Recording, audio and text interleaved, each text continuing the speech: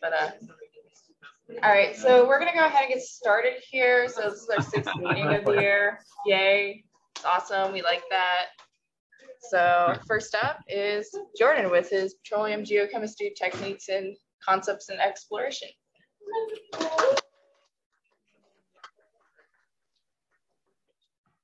Oh my God.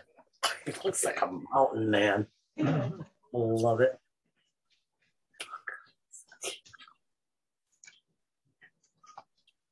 Okay, so um, I put this together a couple years ago um, for, uh, I guess it was a geo talk. This is the first time I gave it, but um, given a few other times.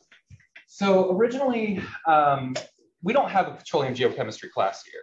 And I was inspired by a young woman named uh, April, uh, who is now a geophysicist at Syracuse. Um, and every uh, every holiday break, she would get a textbook, read it cover to cover, and just be amazing. And so I decided to try the same thing, um, taught myself geochemistry as best I could. And um, so this is all theory. Uh, other than a little bit of gas chromatography that I did, I don't have any hands-on experience. And as you guys know, the map is not the territory. So um, if, um, if anything's wrong, if I'm incorrect about anything, mistaken, please let me know. Um, so uh, we did the Imperial Barrel Award a couple years ago um, with these this group of fantastic people. Um, Dr. Uh, Peruse was our sponsor that year. It was the first time he ever did it, and he just knocked it out of the park. Uh, Robert Webster was our in uh, industry liaison, fantastic guy. Um, so a lot of work, uh, a lot of uh, flared tempers and late nights and all of that, but it was worth it because we won. So here's our uh, after party. Um, our Oh, that's right. Yeah, I remember that. celebration there, pretty warm memory. Um, so a couple resources that we do have. Uh, Lowell Waite and the Permian Basin Research Lab teaches a course. Um, it's, a, it's a graduate level course, but I believe you can get undergraduate credit for it. Uh, so I would definitely look into that. It's an amazing class. Even if you're not really interested in oil and gas, just the geology you're going to learn is, is fantastic. Um, same goes with the Permian Basin uh, class as well. So uh, there was also a petrophysics short course put together. Um, guy named William Price uh, taught it. He's from Petrophysical Solutions out of Houston, I believe. Um, and I believe I got this right, but I think Polly actually organized the whole thing. Um, so you guys, she's very busy uh, writing her dissertation, but you guys might want to um, talk to her and, and, see if you can get some contact info and maybe do this again. Um, it was drinking from a fire hose, a lot of information, but at the end of the day, got a lot of uh, take-home material, and I felt pretty competent actually. So it was um, it was a pretty good experience. Uh, so let's get into some background, uh, just some basics of organic chemistry. Generally, when you see uh, a hydrocarbon, you're going to see CnHX. Um, and real quick, anybody know what it's called when you add an oxygen to it? No longer a hydrocarbon. If you're on a diet, you probably know. It's a carbohydrate. So, um, so carbon has four valence electrons, and a basic shape is a tetrahedron. Us silicophiles know all about that. Um, so some name, uh, some nomenclature is you have single bonds that end with ane, like propane, double bonds, ene, ethylene, triple bonds, yne, so butyne. Um, they're often, you often find cyclical arrangements, and that's really going to play a part in our story later. Um, there are primary structures, and that's really the skeletal structure of the carbon. And then secondary structures, when you start kinking things with double bonds and stuff like that.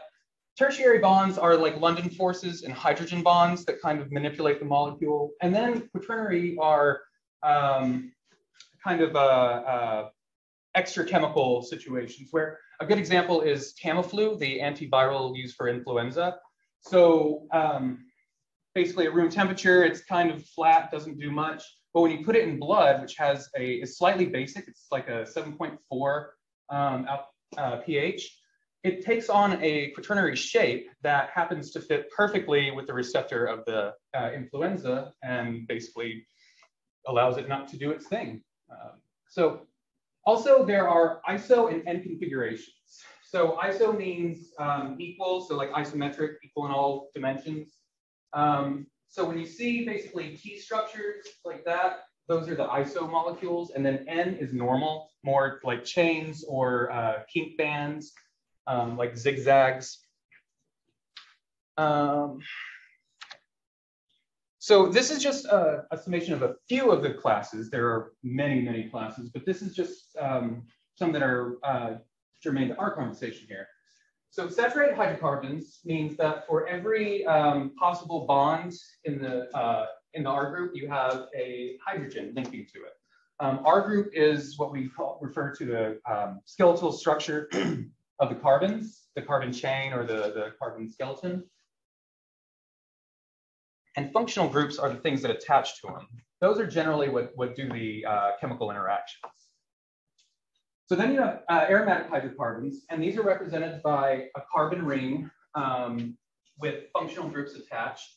Uh, they could be um, cyclical or polycyclical. You've probably heard of polycyclical uh, aromatic, hy aromatic hydrocarbons um, when talking about cancer. They're, uh, they're very, very carcinogenic uh, organic solvents and, and just the things you wear masks for when you're painting and doing uh, fiberglass and that kind of stuff. NSOs are nitrogen sulfur oxygen compounds. Um, they generally have a very strong double bond system. Um, it usually attaches to another R group, and then oftentimes uh, it'll attach to a cation like iron or something like that. All sulfides are also counted in this group. Um, these are generally where the organometallics come in. So when you're looking at petroleum, it's not just carbon. There are um, there are cations that are in there. Um, oftentimes vanadium. In fact, some uh, some petroleums can be upwards of five weight percent vanadium. Pretty impressive. Uh, asphaltenes are these giant, very complicated, uh, very heavy structures. They form solids. They don't migrate very easily. Now they're not coal, um, but they're a lot heavier than you know the liquid phases. Um, and then naphtha uh, comes from the Persian word for wet, um, and that refers to hydrocarbons that are in the liquid state at standard temperature and pressure, so on the Earth's surface. The uh, origin for information, um, it's a delicate balance to actually create petroleum. So you have two different sources of terrestrial and marine. You can identify those chemically. We'll see that later. Um, the settings, it has to be right in, within a, uh, a, redox window. So it can't be too anoxic um, and it can't be too uh, oxidizing or things just break down and decay. Uh, and then sedimentation, um, you have to have, there's a sweet spot in sedimentation rate. It seems to be right below one millimeter per year. Um, if you have it, if it's too much, too fast, it gets buried and breaks down. Um, if it's not buried fast enough, basically it just rots away.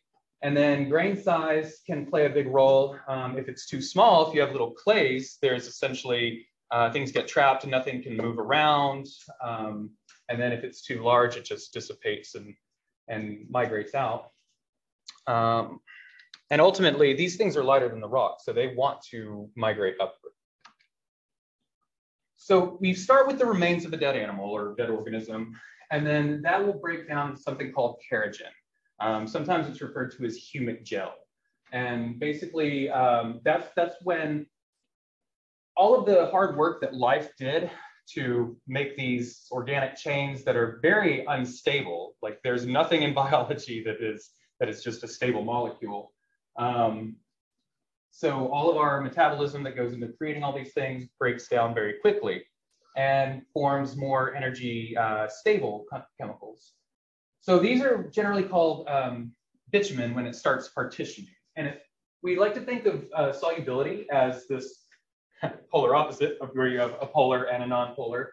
And in reality, it's a continuum um, where polarity is a big factor. There are also other things that affect it. Um, so basically you start breaking these chemicals down. Uh, they start partitioning based on solubility, relative solubility as well. So some things will want to go into the water more than the oil. Uh, some things will want to basically stay in between. Um, and then the asphaltenes, the heavier stuff, want to stay behind completely. So that's when you get this, it's called solvent extraction. Um, things start moving around, and then you get cracking when things get high enough. Um, the water, the vapor pressure of water under certain conditions is actually enough to break the carbon bonds. Um, starts with the single bonds and then will work its way up to double bonds depending on the strength. And so the ratios of uh, oxygen and, uh, and hydrogen to carbon are very important. So as you're breaking these things down, more carbon bonds are taking place and the hydrogen is being released. Um, but instead of uh, a trend where you would normally expect it to go to the aromatic hydrocarbons, uh, it actually goes up to this field, we call it oil field, and that's because of all of the free uh, hydrogens are now being bonded to the unsaturated carbons. Um, the Van Krevelen diagram. So it's a ratio of ratios, same oxygen and hydrogen. Um, something to note is uh, we're almost logarithmic, or almost one uh, order of magnitude away from each other.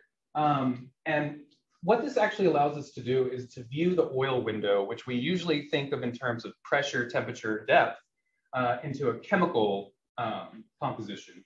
And so essentially this is showing you, you start with your kerogen, you go through the diagenesis, which is the burial processes. Um, and then this is that oil window. So this is where things are being formed. Um, and then basically you get down to your wet gas, your dry gas. These are over maturation products. Um, so basic maturation here, you start with the kerogens, um, and I'll get to this in a minute, but that's called the vitrinite reflectance. Um, but for now, let's just focus on the right side of this, where um, essentially the kerogen, as it's going, um, it, you have a lot of uh, anabolic reactions at first. Things are breaking down to lower energy states. But then when you really start the uh, oil generation, it turns to a catabolic, um, more catabolic reactions. And so there's more energy in the system, uh, higher energy molecules that would be normally unstable are more stable in these higher uh, energy regimes. And so you go from these random orientations with a lot of hydrogen to um, more ordered structures, uh, more aromatic hydrocarbons, um, of lower ratios of hydrogen to carbon. And it's called prefer preferred orientations, or these essentially higher energy states that are stable. And then over maturation, once you go past the oil window, um, you break things down, all the carbon starts cracking, and you're really just left with, uh, with gas. Um, and then you have this ordered residue, it's, it's graphite-like material, and it's basically just pressed carbon. So, um, so kerogen, there are four main types with the additional note that there's a type S, uh, type 2S, which means sulfur rich. Um, and I was reading about this last night, actually, just put this on there. Some uh, oils can be up to 14 weight percent sulfur, which is just amazing. You know, I don't even know how, but the median seems to be about 3%. Um, so you can see that they have different um, different uh, ratios of oxygen and, uh, hydrogen. They have different sources. Uh, the setting, the, the, original deposition setting is very different. And then the maturation products, which is what we really care about. So just looking at this, anybody answer what kind of kerogen would an exploration geologist hope to find?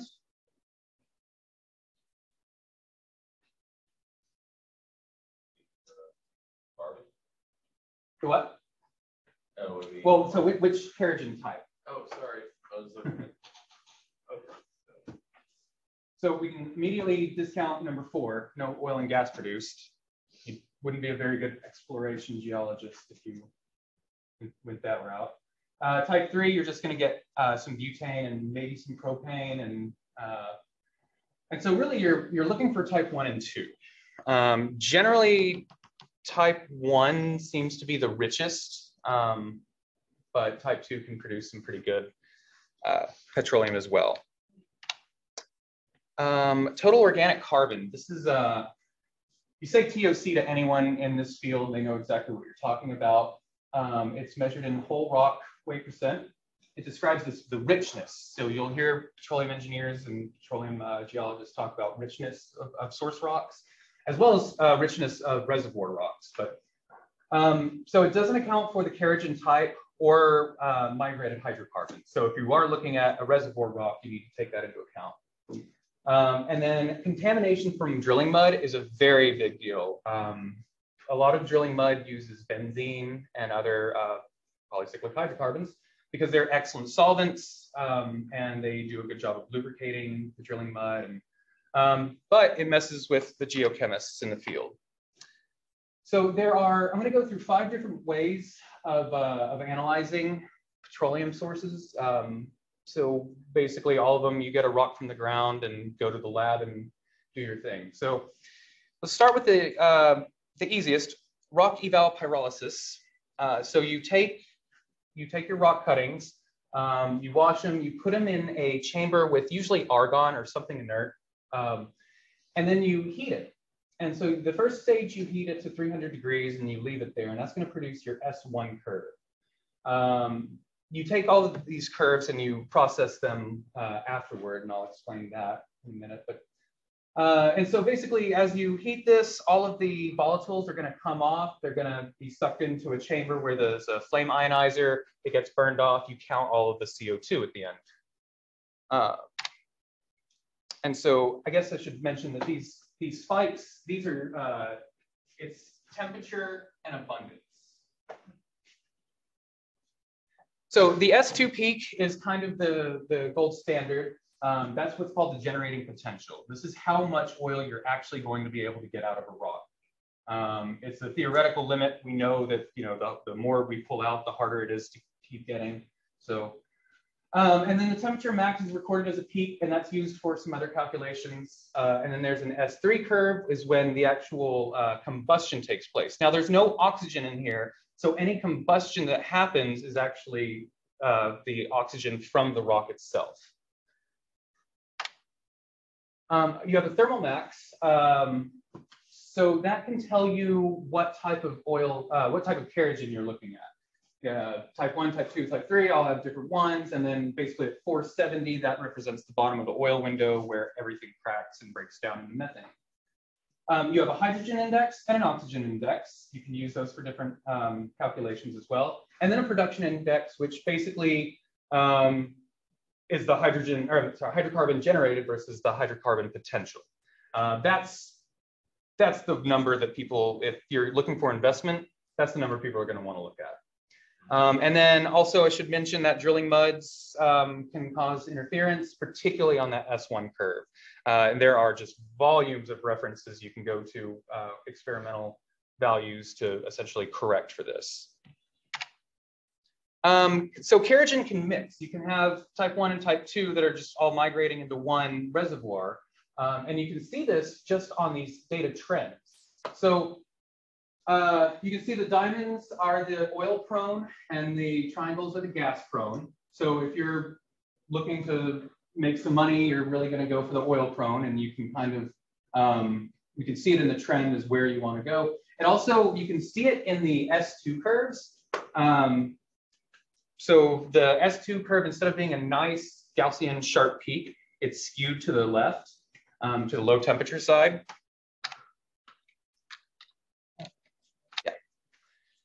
Okay, so this is um, this is the soxhlet. So I mentioned again not having any real world experience. Um, growing up, I knew a person with this last name, Cajun guy, and his name was Soleil. And so I'm talking about the Soleil process, and some petroleum engineer says, you mean soxhlet. So mm-hmm. yeah, can imagine my embarrassment. Um, okay, so you you basically you take your sample, you dissolve it in a in a solvent, something like N-heptane or something like that. You put it in the bottom of this flask and you heat it.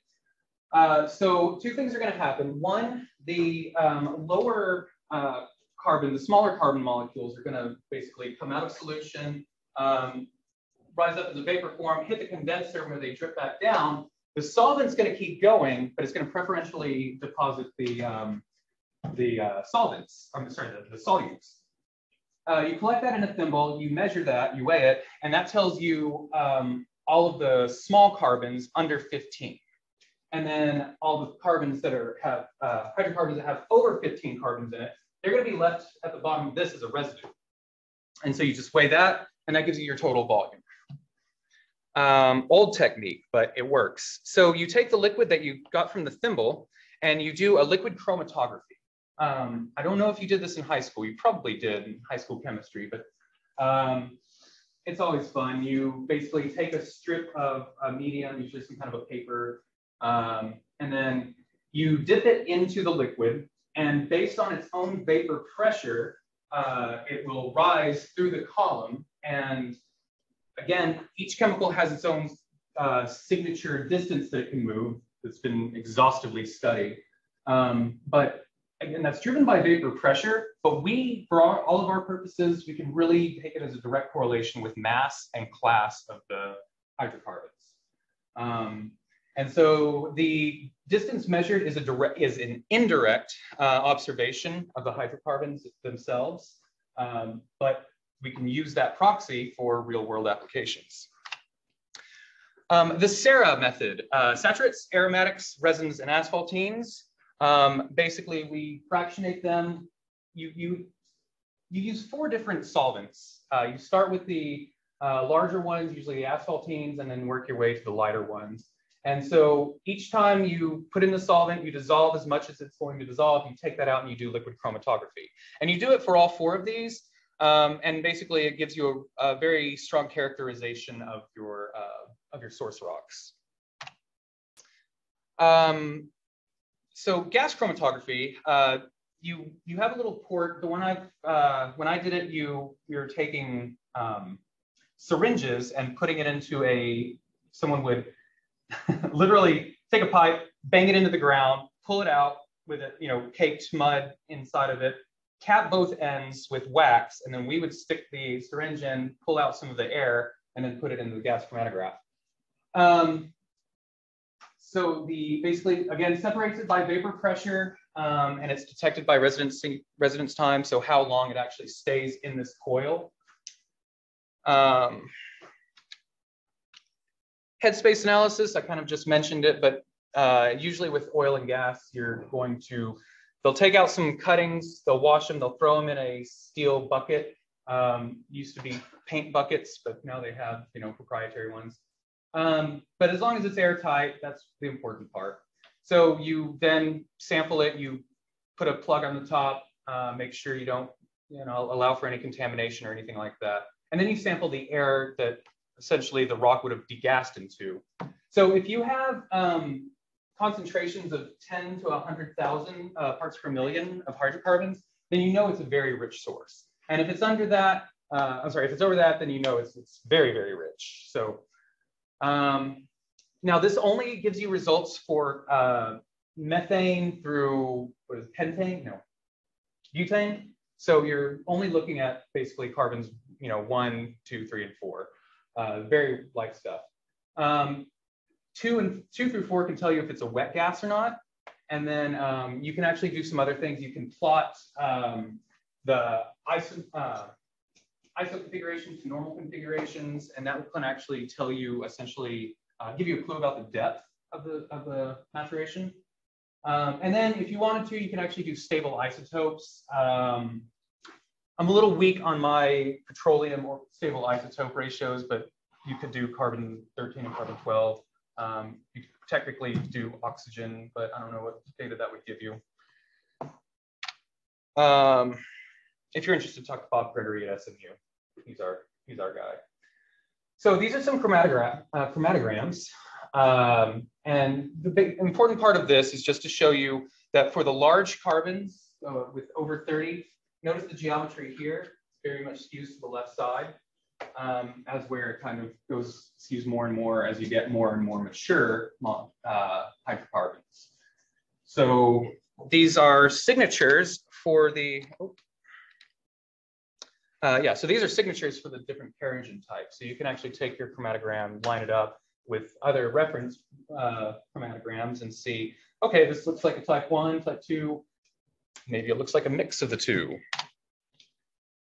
Um, carbon preference index. Uh, so basically, these are the peak heights, which are abundances, uh, versus the carbon number. And they use an odd population from uh, C25 to C33 to basically get an overall view of the, of the source rock.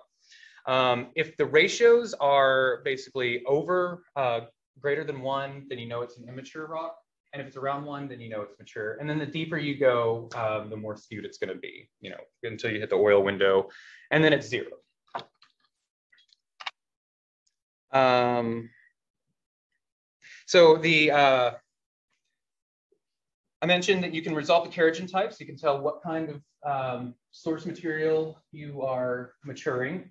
Uh, you can also, there's the, the convergence of thermal maturity, maturity here. Um, essentially, experimental models that I mentioned, all the reference material, you can overlay chromatograms and, and, and see what lines up with what. Um, of course, now I'm sure there are data scientists that are doing it all on a magic computer, but um, and then again, you can see the contamination. I mentioned the S2 peak uh, the low temperature side. Um, that'll jump out on these as well. Uh, you see a, a sharp skewing. Um, so these are some common types. Uh, you can see different mixture ratios, 25% uh, type 2 and 75% type 1 for the second one, for instance. Um, again, all of these are very well documented. You can really compare what, you what you have to other reference materials um, and really get a good idea of what, uh, what kind of hydrocarbons you're looking at. So vitrinite reflectance um, is still something of the gold standard now. Uh, basically, there is um, something called lignin, which will break down into what we call vitrinite, and then you use reflecting light um, to you can characterize the, the kerogen that way. Um, there are a few different ways to do it, but uh, essentially it's like what we do in petrology, a modal diagram. So you count the what uh, population is reflecting and also um, the, the reflectance value, how much, how bright it is. So, um, and we call that a percent Ro. Uh, basically it's the, you do an oil immersion and you see the contrast of the light passing through that. So you do a do 20 to 30 recordings uh, with standard deviation to get your error bars. Uh, and then you plot all of that versus depth. So basically, as you're drilling, you do you're taking your samples, you're doing all of these, and you're plotting them. And uh, it's immediately going to show you if there's interference from hydro, uh, migrating hydrocarbons or unconform unconformities, which I'll explain in just a second. Um, so the lignin I mentioned, it's a primary component in um, cell walls uh, and for vascular plants. And it's actually effectively the thing that allows for large trees to grow. And um, so you've heard of the Carboniferous period, and that's characterized by these giant coal seams, giant coal beds, where uh, lots of swamps, lots of plant matter that falls and decays, but it, the lignin can't break down. There's nothing in biology at the time that had evolved to be able to digest it. So it just sits there and made Pennsylvania rich. So, um, and then after, uh, I can't remember if chicken and egg, if it was termite or bacteria, but um, something evolved to be able to digest it. And now we have the world we see today. Um, so this trend tool I mentioned, uh, the 10 to 10, 10 to 20 samples over four or 5,000 feet. Um, basically, you can use these reflected values to uh, characterize everything you're seeing. But this is just, I know it's terrible to just read off of a slide, but this is a very succinct way of describing it. So um, it is an indicator of a sediment's thermal maturity, which is the product of the cumulate time, temperature, history. It can indicate if generation could have taken place uh, and suggest the types of hydrocarbons that may have been formed thereby identifying which source rocks are potential contributors to a petroleum system. Uh, oh, and uh, vitrinite reflectance data can be used to help constrain and validate basin models. So it is very important in the large uh, picture and can be um, just invaluable data. So uh, a couple figures here, just to give you an idea. These are classic um, numbers that describe uh, reflectance values that reflect the different kerogens. And then over here kind of shows you uh, a visual graphic of this. It doesn't really mean much unless you've actually seen it through a microscope, but um, that is a whole other class in and of itself, if not a master's thesis. But, um, but essentially, these are what these reflected um, field of, fields of view look like. Um, so the Ro anomalies I mentioned earlier, so if you have a surface unconformity, say there was a million year period where you had um, maybe a reactivated fault or something like that, and basically you have sediment uh, piracy is, is something basically is being stripped off the top. Um, that's actually going to be reflected in your Ro values. You can actually see a skew. If you look on the um, left side here, this is for essentially a continuous sedimentation. Um, and so just a, um, a basically equal subsidence or, or more or less constant subsidence. And then on the right side, it shows what would happen if you uh, uplifted it and had a, uh, an unconformity of some sort. So it does absolutely skew. Um, yeah. Okay, and that's all I have. Um, so real quick, this is a picture of the Permian Basin. This is the Midland Basin. You can see utter beauty of industry. And then that's a picture uh, taken by a guy I went to high school with who's currently in the uh, on the North Slope in Alaska, being an oil man. Mm. So, all right, any questions? Yeah. Um, so the total organic carbon relates to the richness. Why do you want a richer oil? Does that have more like energy to use, or what's the? Yeah. So ideally, you want an oil that has um, a, a degree of asphaltenes. You want some heavy stuff, and you want some light stuff. You don't want all gas um, because then you're just gas. And you can't make diesel and gasoline and plastics and things like that. Um, and but you don't want it to be too immature because then your your pay dirt stuff that's coming up out of the ground is effectively like low grade ore. You know, so it's it have to do more processing to pull out the valuable components and things like that. Yeah. You mentioned that you don't want contaminated by. If they finish studied up, they finish drilling and they find that it is contaminated, what do you do? Wash it. With what? Yeah, so so generally you would just, I mean, some people just literally will scrub it in a detergent, but um, you so when you're you're pumping the mud down there and it's pulling up all the little cuttings, and so you, you take those, um, literally just give them a bath and put them in an airtight container. Um, if you see it in your geochemistry, sometimes you can correct for it, and a good geochemist will be able to see that signature immediately. Question. Okay. Yeah. So, um, I don't know, uh, well, I guess, um, my question is about, well, more about kind of like the future of the oil industry and stuff like that. Like, um, like, I know that a lot of things are changing. Uh, where do you think, um, I don't know, um, geo- geologists having, uh, studying oil, um, what aspects of that, like, uh, I know that they're drifting away from using oil as a fuel source. Um,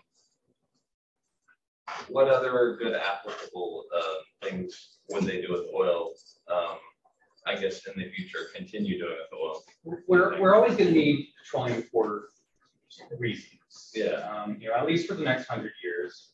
Uh, lubricants, plastics, um, fertilizers, um, things like that. Uh, I mean, hopefully the demand for oil as a fuel will decrease with, you know, renewables and other sources. Um, hopefully nuclear takes a bigger chunk of the energy market, things like that. So exploration is definitely going more to the geophysicist side, Mhm. and even some of the geophysicists are being booted out by the data scientists, the number crunchers that can come up with an algorithm that can replace a team of, you know, five old guys with slide rulers. Um, but ultimately, you know, so they they find they do their magic geophysics stuff and say there's oil here. So someone's still going to drill it, and someone's still going to characterize it. So you're always going to have a need for a geochemist. Um, you're always going to have a need for a geologist because, um, you know, uh, seismic lines are great, but um, at the end of the day, not all rocks are the same. Just because something has the same, you know, seismic velocity or something like that doesn't mean that it's.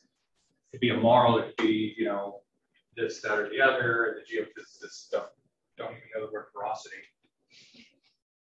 All right, I like that. geophysicists. Yeah. Makes me feel secure. Did that answer your question, Bill?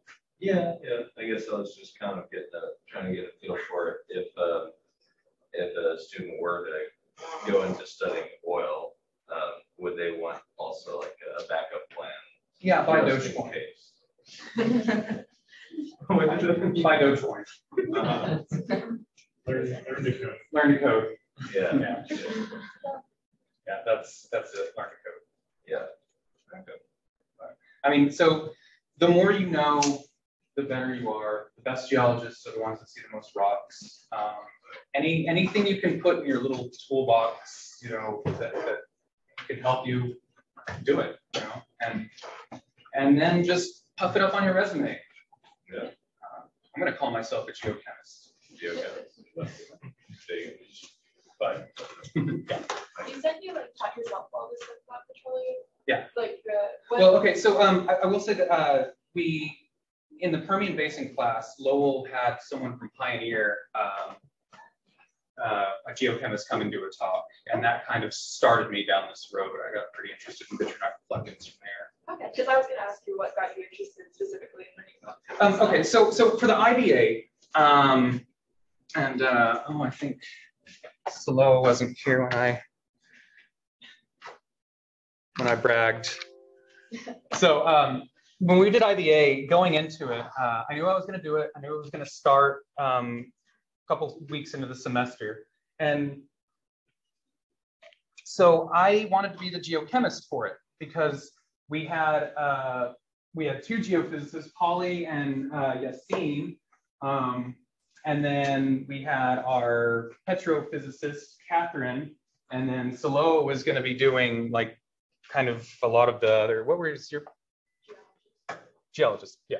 So kind of, and so I was going to be the geochemist, right?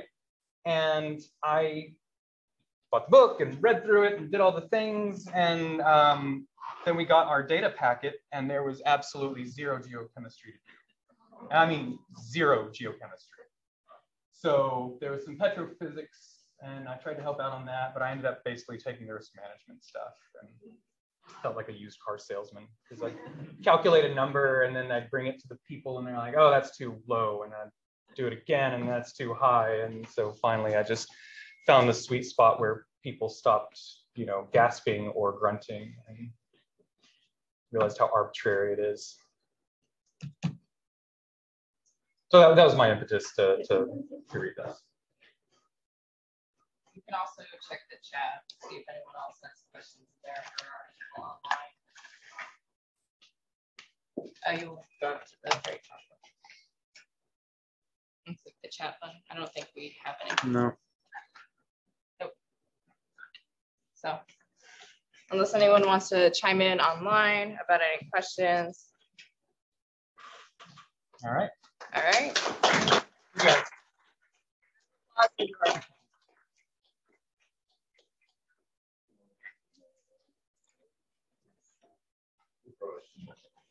All right, so thank you, Jordan, so much. Uh, we are gonna still hammer into y'all to register for Geo Club on the present. I think most of y'all at this point already have.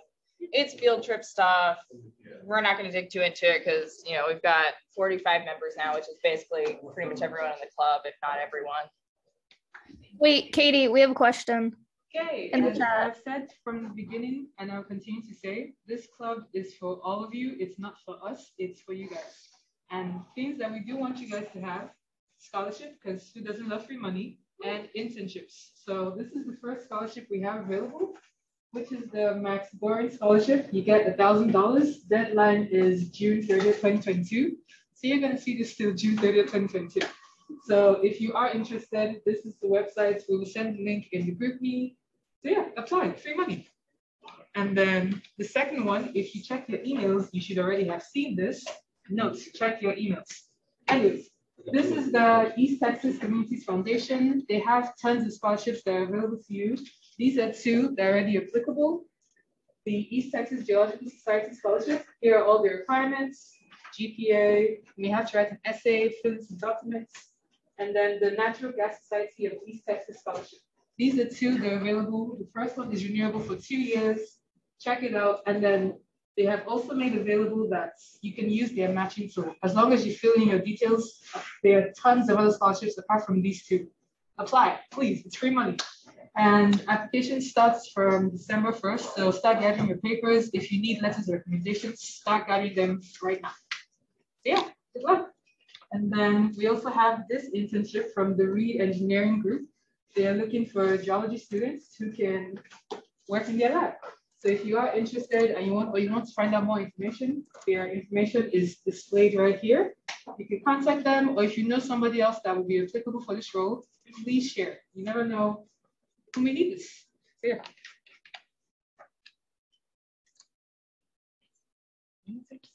Sure. Uh, so UTD was unable to secure a booth for the Dallas Gem and Mineral Society show in Mesquite, but I know a lot of us will still be attending. So it is, you know, most of us I think would be considered adults in this situation. So it'd be eight dollars to get in. I would hope everyone's considered adults and not children under 12.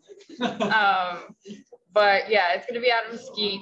I know it doesn't say the uh, address on here, but um, it's very easy to Google and we can always send that information out in the chat. They just did not have a very good flyer set up for this. So speaking of trips, we're finally at a point where we can start splitting the trips for the group. And uh, we have been working to organize one for the end of this, um, this month. So it's gonna be at the Ron Coleman mine in uh, Chesterfield, Arkansas. There's two other mines around the area that we can also dig at. Um, we're planning for it to be like a two night, three day trip at a campsite that will have running water and electricity. Um, and we're just trying to see how interested y'all are in this, you know? Uh, so I guess by raise of hands, if y'all are interested in something like this. When did you say this would be? At the end of this month, so it should be the twenty-sixth, I'm sorry, the twenty-seventh through the 29th. So Friday, Friday through Sunday, whichever day. That's the day after Thanksgiving. The day after Thanksgiving, is it? Okay, what, what days work for y'all? Because we were trying to consider, um, finals coming up in December and all the other, you know, the Thanksgiving break, that's the day that we felt would be best for everybody. That didn't work, it's, it's moving, so. We could do it early next semester, maybe. Celebrate. Early next, yeah, we can do it next semester too. but our hope is- Yeah, our hope is to at least get one trip in this semester, so, um, and it might end up falling on December break or Christmas break too as well, so I, we need at least eight to ten people to do this to facilitate it. Um, and we have other trips coming up, so if y'all are interested, then we can definitely organize this and put it together this semester, whatever time that's best for y'all. The SOC has not been very kind to us about field trips, unfortunately, since COVID. So it's been quite difficult. We've thrown out a couple different ideas that were pretty much shot down. So it's not like we are not trying. We are actually doing stuff for So this. This one will include a dig, everything's gonna be paid for as far as the event and trip, um, and transportation. Uh, so we have three mines that we can dig from, they're all in the same area. There's a mine tour at this one specifically, um, and it'll be fun, we'll just really get together. Um, Would you guys like go, because I know Hot Springs is like really right there. close. Yeah, would you guys like go into the downtown and like have a night where you're just like on this strip? Definitely. if y'all wanna Yeah. do That's That's, definitely worth it. We're leaving it kind of open to it's like what everyone wants to do. Like minutes away from Hot Springs, so Yeah, I love that's going right. there. Yeah, it is. If you guys are in that uh, part of the world, um, I think like maybe ten miles outside of Hot Springs, something like that, there's this place called Magnet Cove. Um, it's an amazing, uh, like Lancaster, like uh, weird chemistry, uh, mafic rocks and stuff like that. Um, it's definitely worth it. And I got, I have some, uh, field trip information from uh, Magnet Cove. Magnet Cove. Yeah, pretty amazing place. Could you send that to? I will, yeah, yeah. Perfect. Yeah, because we're, again, we're leaving it pretty open to what everyone wants to do, because we're not gonna be super strict of like field camp, yeah, we're doing this today, sort of thing of like, it's, you know, we want to do cool geology stuff, but also no one wants to get run into the ground on this trip of like assignments, so we're not doing that. We'll send out a poll on GroupMe, um, just see if you're interested or not, and I'll like feel free to get some suggestions on what days y'all think would be best for y'all, so we can, we can work around it. Yeah, I think we do have a suggestion box around here. I think it's that right there with all the squiggles. Um, I believe that's our box. Uh, if y'all have like suggested field trips that you want to go do, we're always down for suggestions or like speakers or anything like that. I think that's important to note. All right, so So yeah, the mineral sales are back on. Actually, today have a special on selenite barite roses over here. And of course, the standard stuff. So if you guys are interested, let me know. Also, I'll be down in the lab from one to three today. If any of you are interested in seeing some of the minerals. You got some-. Yeah, Kidwell Collection. Thank you. Thank you, Rob Lavinsky of the Arkenstone. All right, and last but not least, I think everyone here is pretty much signed up for all of our socials. But again, this is like our best way of staying in the loop and all that sort of stuff. So we post, you know, generally we post just like flyers and that sort of information on our Instagram. And the GroupMe is really where you want to be of like, you know, you can ask the silly question of like, hey, does anyone have any tent poles? I don't know where mine are, sort of thing. Um, and then the Facebook, which is a really good connection for alumni, as a lot of you probably know, even though that's like, you know, a little bit more old people central. So, all right. And now I guess we could do the mineral draw. If everyone wants to make sure y'all are signed in. Go sign in now and then we can go ahead and do that. y'all. What do we have today? It's later. Nice piece of Amazonite from address. And gas gave us tonight. So is everybody signed in? Okay. Okay, that's easy. Yeah. All right, sorry, life is easier. Thank y'all for signing in.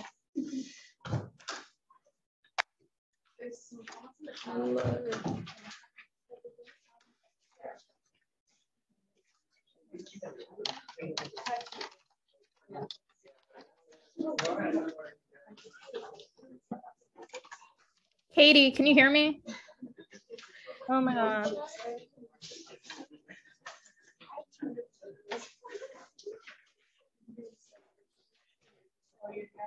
Yeah. oh, okay. Sorry, sorry, guys.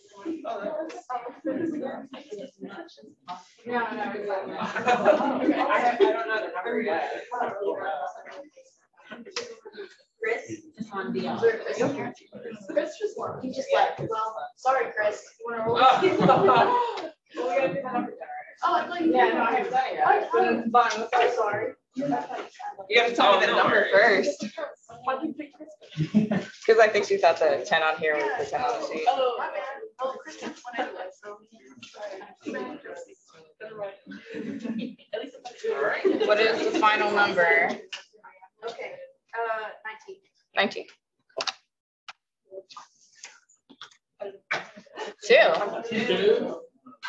That's one of the officers. Oh, Two, we're usually sending after anyways. two, six. One. One.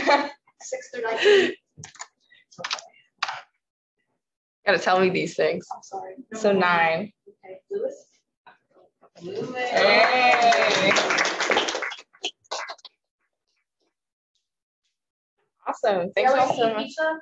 Yes, it's over there on the other side. Same side. It's grab and go again so the SOC doesn't get mad.